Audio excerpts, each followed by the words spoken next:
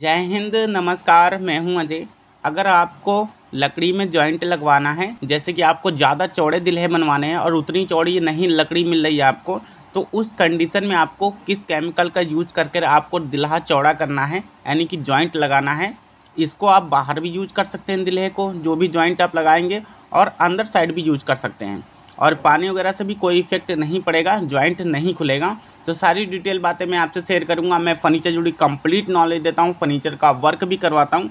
अगर आप चाहते हैं चैनल को सब्सक्राइब कर लीजिएगा बेहतरीन कंटेंट बेहतरीन नॉलेज के लिए। दो लकड़ियों को आपस में ज्वाइंट करने के लिए आमतौर पर फेबिकोल का यूज़ होता है और वो बेस्ट है अच्छा भी है। बट अगर आपको और ज़्यादा मजबूती चाहिए और दो पटरे हैं चौड़े चौड़े उनको ज्वाइंट करना है तो वहाँ पे फेबिकोल का यूज़ करने की ज़रूरत नहीं है।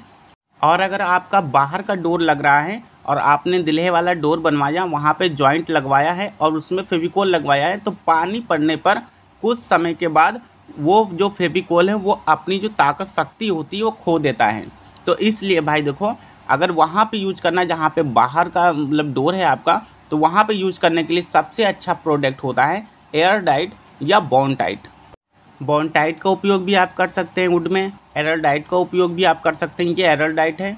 तो इसको जो है एरोलाइट भी बहुत लोग बोलते हैं। तो इनका उपयोग आप वुड में कर सकते हैं। हाई क्लास जॉइंट के लिए, बहुत ही बेहतरीन जॉइंट के लिए इसका उपयोग कर सकते हैं। हाँ ये चीज़ है कि ये महँगा बैठता है बट आपको इनको उसी जगह पे यूज़ करना है, जैसे कि बाहर वगैरह, जैसे कि दिल्हे का जॉइंट लगाना हुआ, जैसे कि मोटे मोटे पटरे जोड़ने हुए।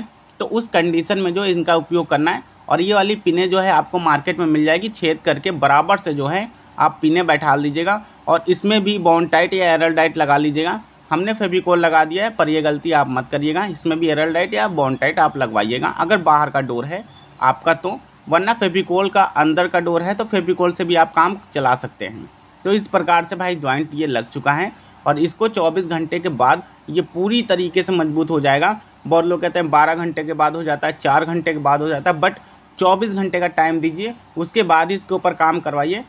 सो so, मेरे हिसाब से आपको समझ में आ गया होगा कि अगर आपको जॉइंट लगवाना है दिल्हे का जॉइंट लगाना है या मोटे मोटे पटरों को एक साथ में जोड़ना है तो इस तरीके से आप कर सकते हैं।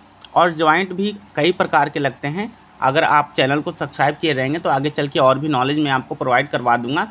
एक जॉइंट होता है ग्रिप वाला और एक ये पिन वाला होता है और एक आता है जो ज्वाइंटर पत्ती उसको बोलते हैं।